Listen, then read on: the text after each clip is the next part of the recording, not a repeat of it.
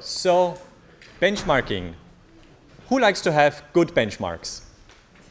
That's probably almost everybody. The problem is what we often get around benchmarks is something very different. And we look at some patterns in this very brief talk uh, of what you can do to get better benchmarking or worse benchmarking, because that is what you often get when you have a specific goal in mind and then you try to justify it with the right numbers behind that. So we'll dive into those patterns to see how they actually behave. And the first pattern is always find the right use case for what you're trying to prove in your point. It doesn't really matter if that is what your user is trying to do. You want to justify the point that you're trying to make. Um, so the first thing that you normally do is you need to find similar conditions for what you're trying to benchmark. This is my favorite benchmarking comic, um, where under similar conditions you're proving that the squid is much smarter than the house cat, uh, but it is the same conditions, so you're proving your point here, right? Or to put differently, benchmarking or benchmarking 101 is you test a couple of scenarios and you throw all of those away where you're not showing what you want to show, but you focus on the one where you do. So we take the fourth scenario here, and this is the one that we'll keep repeating after that again and again.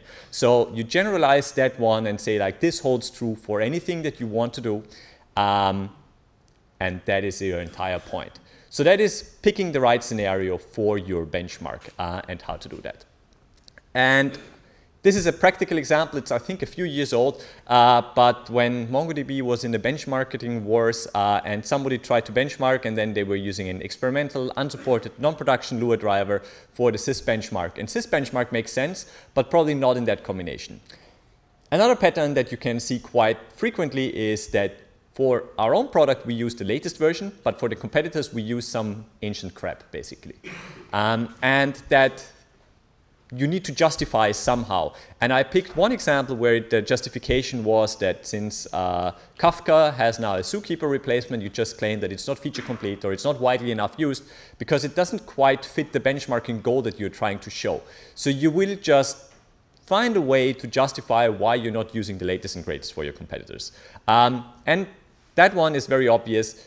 If I benchmark my own system against somebody else, I will know all the scenarios that work well for me. I will know all the knobs to turn uh, to make that better. Whereas for the competition, you often intentionally or unintentionally don't know. And then ignorance is bliss there.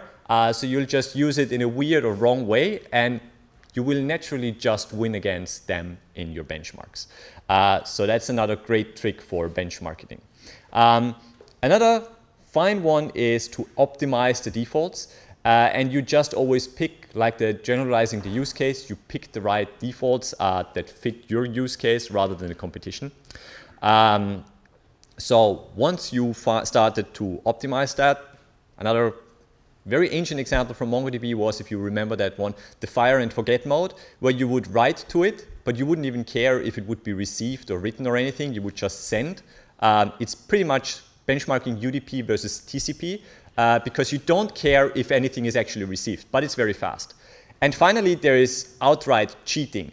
And that can be something like cars, um, or it is also pretty common in chips uh, or graphics cards. Like there are some drivers that actually recognize that you're under a benchmark, or sometimes it's cars, uh, that you recognize that you're under benchmarks, and then you will behave totally differently.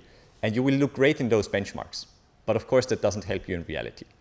So while we want to throw out all of these bad patterns, we want to have better benchmarks actually. So how can we get better benchmarks? And I want to take this from two sides basically when you create those.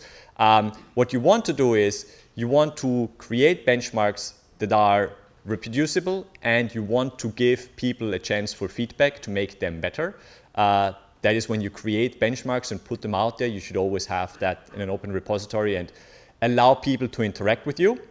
And the second thing is, what is very natural when you see a benchmark about yourself to discredit it. So what is very common is that you see a very long benchmark and then you pick out one detail and then you say, they're wrong here.